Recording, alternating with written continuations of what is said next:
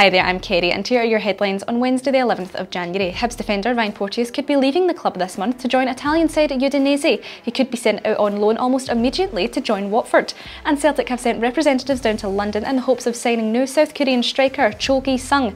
Norwich City have rejected a bid from an English Championship side for Todd Cantwell, which could open the door for the midfielder to join Rangers.